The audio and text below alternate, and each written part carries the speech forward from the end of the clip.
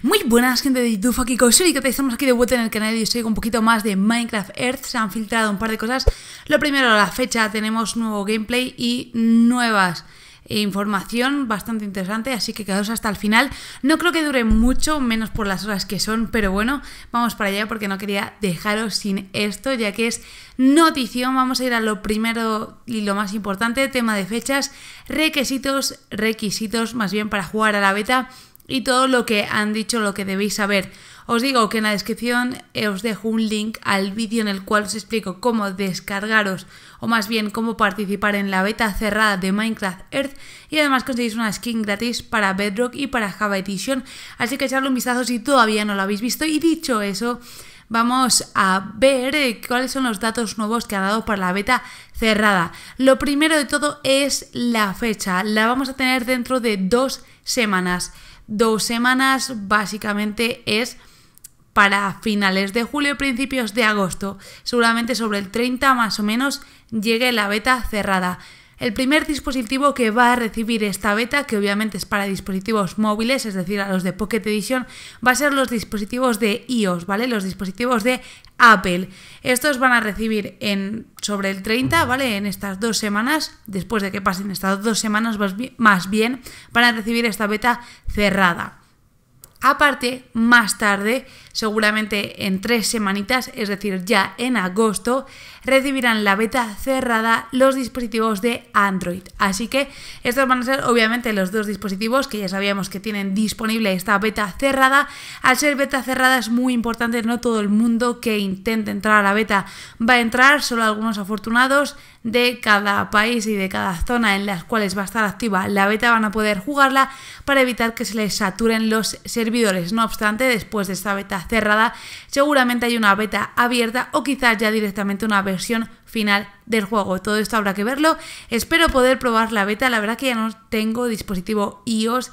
Me voy a comprar un Android ya que me robaron el iPhone, por si alguien no lo sabe. Así que justo ahora, justo ahora que venía la beta y que podía haberla probado de primera mano con un poquito de suerte, pues me voy a tener que esperar un poco, pero espero poder traerosla al canal, ¿vale? Con un dispositivo Android, no pasa nada, aunque me tenga que esperar un poquito más y espero poder subiroslo, porque la verdad que tengo bastantes ganas de probar esta, pues la beta sin más, de poder probarla.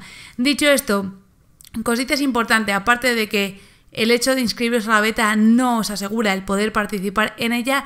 Tenéis que saber que hay que ser mayor de 18 años para poder participar, ¿de acuerdo? Es lo que toca. Y aparte, tienes que jugar mínimo una vez cada 7 días. Si no juegas una vez cada 7 días, es decir, al menos un día a la semana tienes que jugar a la beta, te van a quitar el derecho a beta y pasará a poder jugar otra persona, ¿vale? Se te quitará a ti el permiso para entrar a la beta cerrada y se le otorgará a otra persona que haya estado en la lista de espera. Con lo cual, aunque en un primer momento no recibáis la beta cerrada, tranquilos y paciencia porque puede que os la den. Además, no sería la primera vez, como ha pasado en otros juegos, que después de estar un par de semanas en beta cerrada, de repente dicen, venga, metemos a más gente, ¿vale?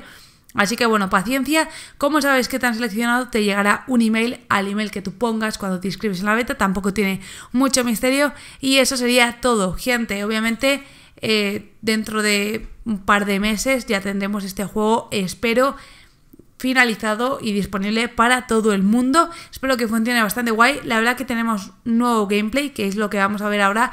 Pero bueno, antes de nada os voy a poner unas, unas capturitas que me lío que tenemos sobre cómo va a ser el funcionamiento, que no obstante te lo explican un poquito en el gameplay que han mostrado.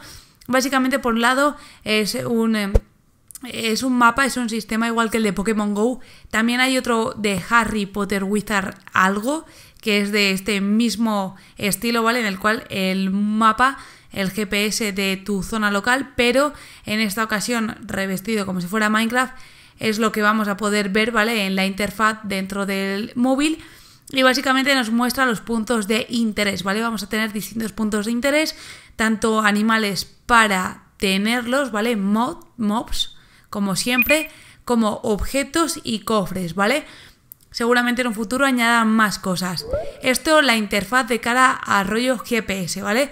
Luego aparte podemos ver la interacción en mundo real que como siempre de hecho, ahora vemos el gameplay, ¿vale?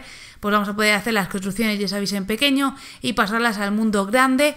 Ahora os explicaré lo que tenemos que tener en cuenta y luego aparte tenemos un inventario con todos los objetos que vamos recolectando de estos puntos de interés y por un lado tenemos los ítems que serían los objetos y por otro lado los mobs que serían los animales que vamos a poder ir obteniendo, ¿vale? Los animales no son todos iguales, digamos que hay como híbridos y criaturas raras, de hecho se van a poder crear por lo visto, o eso comentaron el día que presentaron el juego, que vamos a poder hacer nuestros propios híbridos, un poquito rollo Jurassic World, y vamos a tener ahí nuestros ítems, ¿vale? Acumulables y va a haber sistema de niveles. Así que lo que vamos a hacer va a ser pasar a ver el gameplay, el tráiler nuevo que han sacado y con él pues os voy explicando un poquito, ¿vale? Le he quitado la voz porque básicamente lo mismo que yo os voy a narrar, os lo narran pero en inglés.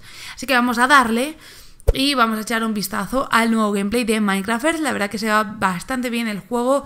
La gente que lo ha podido probar porque hace poquito en una... Em, conferencia que hicieron, pues se pudo ver. Y como estáis viendo, tendríamos el GPS en nuestra zonita, ¿vale? Puede ser multijugador, puede ser de una sola persona, podemos ponernos las skins que queramos, como estáis viendo por aquí. Aunque creo que realmente la skin solo sale en lo que sería la parte de GPS. Luego, el mundo real, como es con tu entorno, no se ve tu skin, ¿vale? Pero tendríamos nivel de personaje, luego la dirección con la brújula y luego abajo, pues un par de botones que imagino que sea la tienda, los ajustes, etcétera. Como estáis viendo, aquí seleccionamos, por ejemplo, a un animal y a la hora de capturarlo no tiene por qué ser un animal normal, sino que puede ser, en este caso, un cerdo épico, que sería el de barro. Aparte tenemos cofres, como estáis viendo por aquí, que nos darían distintos materiales. Cada material nos suma algo de experiencia que vamos a poder ir viendo en el inventario.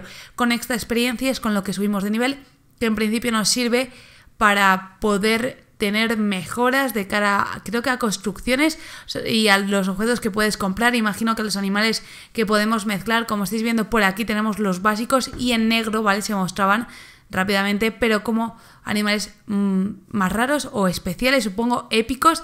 Luego, aparte de esto que ya sabemos, el hecho de que haya modo multijugador, como estáis viendo por aquí, para conseguir estas especie de construcciones ya como predefinidas sería para lo que se utilizarían los niveles en un principio.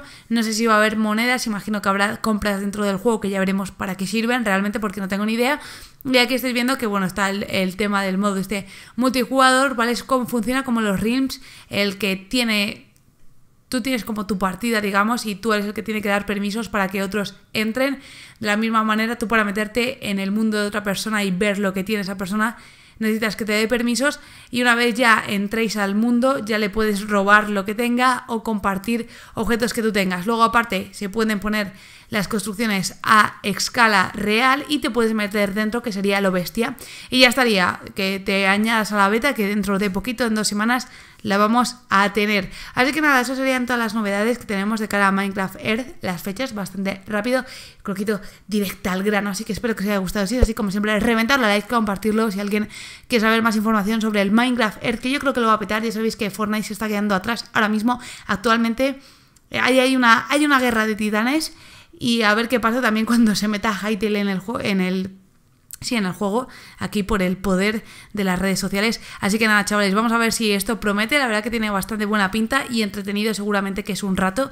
Y dicho esto, darle la data compart para que consigamos quedar, no sé si dónde está él o que se venga a Madrid y lo probemos, porque seguramente se ha inscrito a la beta, así que decírselo. Los comentarios, cualquier cuestión, tenéis mi de mi Instagram en la descripción.